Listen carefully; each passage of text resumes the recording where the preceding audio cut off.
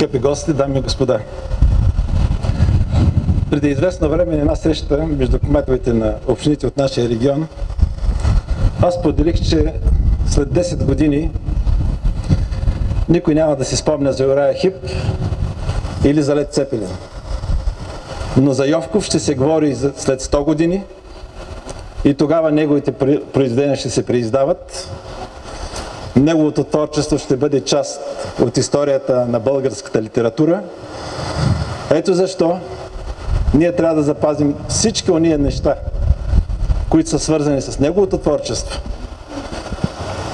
и да ги принесем в поколенията, които трябва да знаят, че е имало такъв писател, че той е станал писател тук в Добружа, че вие сте хората, които бяхте него, неговите прототипи.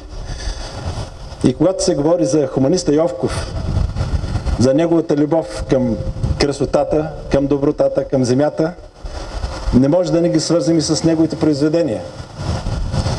Защото вие, красенци, направихте така, защото когато говорим за красивото, да си спомням за Албена, за думите на старец, който казва какво е селото без Албена.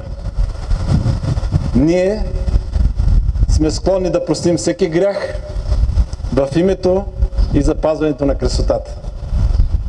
Спомняме си и за Люцкан, човека, който в последния миг от живота си протяга ръката, за да погали едно цвете. Спомняме си Серафим, неговата доброта и съпричастност, неговите думи, когато Господ на нея, тогава и тя на мен. Много са нещата, за които трябва да се връщаме. Затова ние днес тук сме се събрали, за да почетем онова, което Той е направил, да благодарим на вас, които запазихте Неговото име и Неговото творчество, защото Той е един път, по който винаги трябва да се следва. Днес в навечерието на 135-та година от рождението на световно известният български белетрист Йордан Йовков, тук в едно красиво доброжанско село, така наречените Йовкови места в село Красен, откриваме реновираната експозиция на писателя. Намира се в сградата на бившето кметство. Преди 40 години тази музейна експозиция е открита, но поради факта, че са минали толкова много години, се наложи нейното обновяване. Намираме се в момента в етнографската част на залата.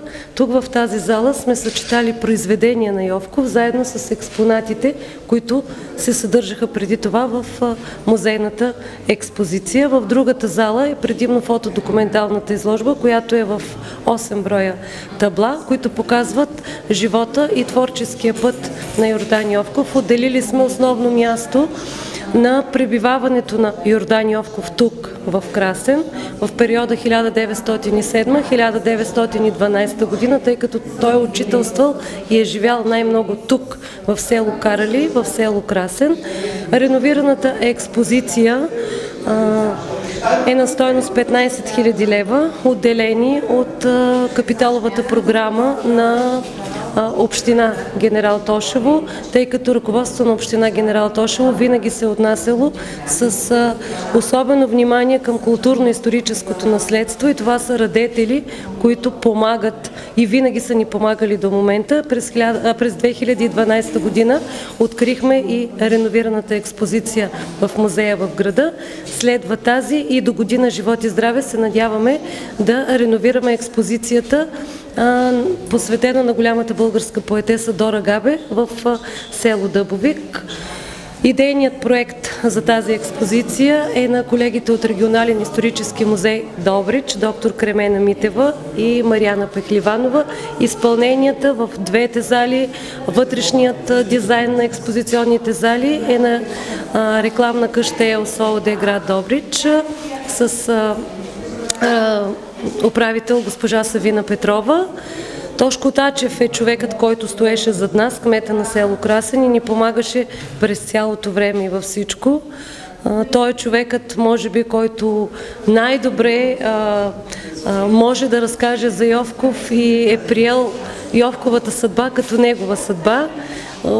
Много съм щастлива, че а, реновираната експозиция предизвика такъв голям интерес, защото аз в словото си подчертах, че а, красотата и любовта са нещата, които ние трябва да си припомним, да, да, да покажем на, на нашето поколение след нас, а, да им оставиме тези послания, за да може по пътя на надеждата те да върват и от тук нататък да възпитават в дух на родолюбие.